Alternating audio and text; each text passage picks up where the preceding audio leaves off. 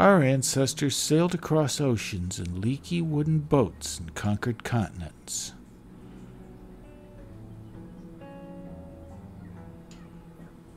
They healed the sick and fed the hungry. They measured the span of the heavens and the weight of the atom. They survived 40,000 years of plague, famine, invasion. We will survive nihilism and despair because we are their children. We are Europa's children. Hello, I'm Kenaz Filan, and the existence of our people is not negotiable. Hello, and welcome to Europa's Children. This is Kenaz Filan. This is our first episode of our podcast, and tackle a question that comes up for me very often. It's, Kenaz, why did you become a white supremacist? Yeah, I get this one more often than I'd expect, but I'm never quite sure what what am I supposed to say? I mean, how do you respond to a question like that? I mean, a good place to start might be, well, what do you mean by white supremacist? What's white supremacism? I hear this term all the time, but I'm not really clear on what exactly a white supremacist is supposed to do. Suppose I say, all right, you know, I believe that a Christian baker should be allowed to say to a gay couple, I don't want to bake your wedding cake, and we should show him the same sensitivity we're expected to show, for example, for Somali immigrants who still practice female genital mutilation. You know, maybe make some allowances for this man's faith. You know, I think in this case, not getting a cake is a better ending than not having a clitoris, all things considered.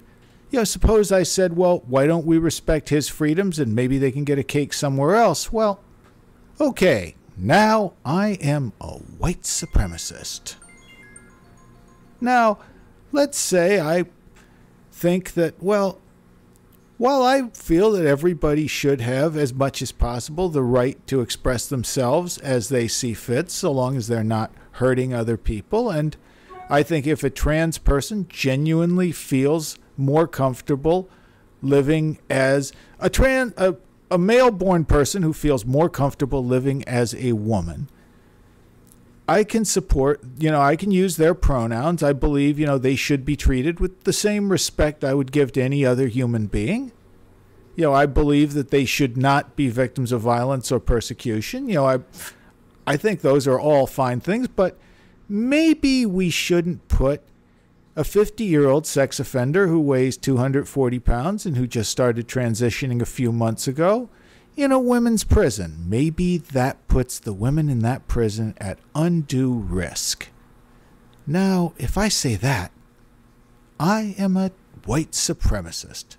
I'm also a transphobe and a homophobe and a bunch of other things, but above all else, I'm a white supremacist. Let's say I, I'm worried about immigration. I, you know, I'm sympathetic to immigrants. My daughter goes to school with many children of first and second generation immigrant children. They are lovely children. Their parents are hardworking people.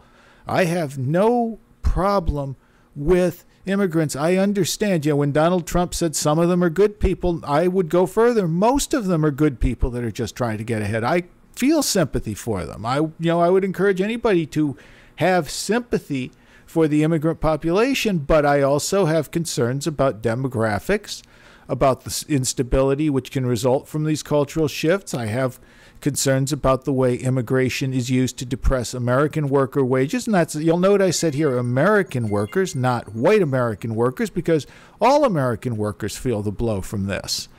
But when I say, you know, well, maybe we should start tightening up immigration requirements, who boy, I am a white supremacist. Now, let's say I like reading books like by people like Shakespeare, Homer. I like reading Ben Franklin, the works of the founding fathers, what they've started calling dead white men. Now, the European canon, you know, is white supremacist. That idea of Western civilization, you know, that whole thing that started with Homer in Athens, went on through the French Enlightenment, the Reformation, Counter Reformation, a lot of the ideas of democracy and freedom that we have today, I think those are good ideas. I think generally we have gotten ourselves in more trouble when we failed to live up to our ideals. The problem wasn't our ideals, the problem was our innate failings as human beings. That makes me a white supremacist. Now, when I listen to Bach and I say, wow, that's amazing, you know, and I feel that same sense of accomplishment a black man might feel when he's listening to something brilliant by Miles Davis, does that make me a white supremacist? Suppose I look at the Notre Dame de Paris and say, wow, what a towering human accomplishment. I am so proud of the fact, you know, my ancestors built this marvelous monument of stone. Does that make me a white supremacist? I mean, when Ted Cruz beat Beto O'Rourke in the Texas Senate election, George Ciccariello Maher, he's a professor formerly at Drex, Drexel, who tweeted, All I want for Christmas is white genocide, tweeted, White people re-elected Ted Cruz. If there's a better argument for the abolition of whiteness, I haven't heard it. So, white people voting for a Cuban guy over a white guy is now white supremacism. Okay. I think it's pretty clear that white supremacism is a blanket term for everything a good leftist ally is supposed to dislike. And if you refuse to get with the program, if you deviate it from it in any step, you, my friend, are a white supremacist. Gavin McInnes sodomizes himself with a dildo on camera, welcomes non white members into his organization, Newsweek calls the Proud White Proud Boys multicultural white supremacists. Dr. Rachel Fulton Brown, she's a professor at the University of Chicago. She's written accurately medieval Europe looked to the east as the center of civilization and culture. She's pointed out St. Maurice, whose cross is often used by British nationalists, was a Moor. He was traditionally portrayed as African in medieval and Renaissance art. Now, Dr. Rachel Fulton Brown is a white supremacist, and this is largely due to her friendship with Milo Yiannopoulos. And Milo, who is a gay Jew who's married to a black man and who in fact brags, I've had more black dick in me than the entire Kardashian family, is a white supremacist. Okay, by that standard, I am probably a white supremacist.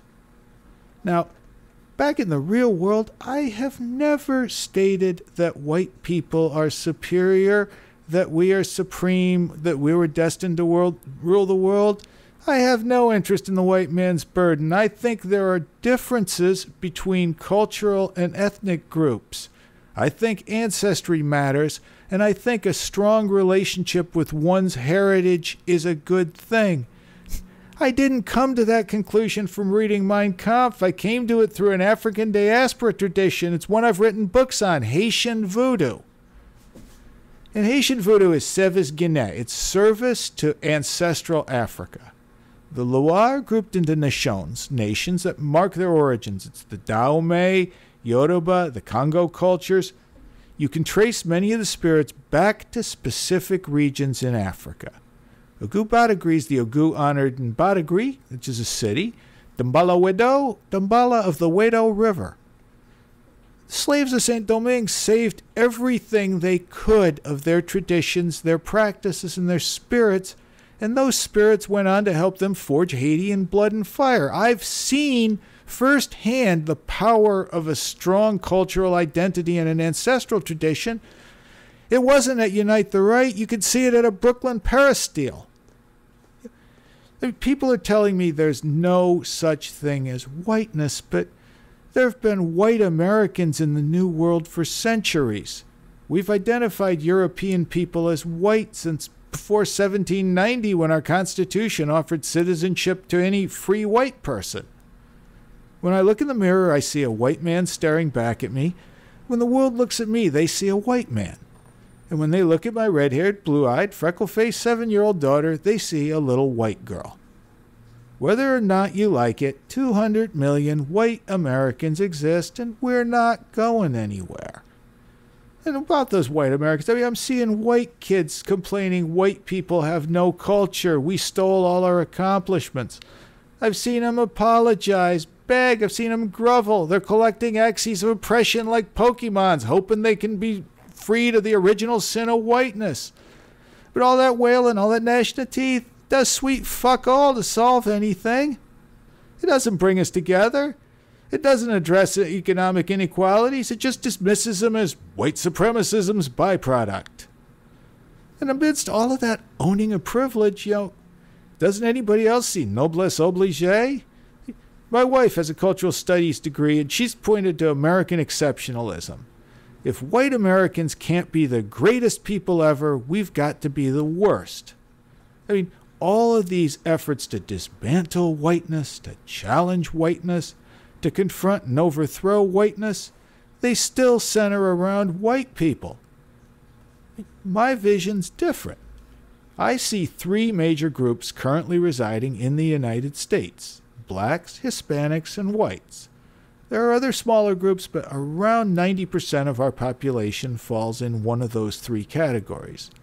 There are many subgroups within those groups. Within the black community, we see Caribbeans, African immigrants, African Americans, Ecuadorians, Salvadorians, Mexicans, Cubans in the Hispanic community.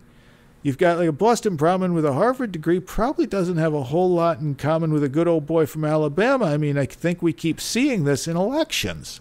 But within the larger framework of American society, I, people in these groups see themselves and they're seen as black, white, or Hispanic. We share common interests at times. At times, our interests conflict. We've solved our differences violently in the past, but we've also settled them peacefully. We can live alongside each other as equals. We can respect and honor our differences. We don't have to hate each other but we don't need to hate ourselves. In fact, we can't love anybody else's culture till we love our own. You, you can't respect anybody else's ancestors till you respect your own. Right now, we're in the middle of a crisis. White America is dying. We've gone below our demographic replacement rates. Our population is shrinking. Every day, 85 white men take themselves out by suicide. The opiate epidemic is eating poor white America alive. You know, we're dying of opiates. We're dying of suicide. We're dying of alcoholism. What we're dying of is fucking despair. Our people are dying of despair.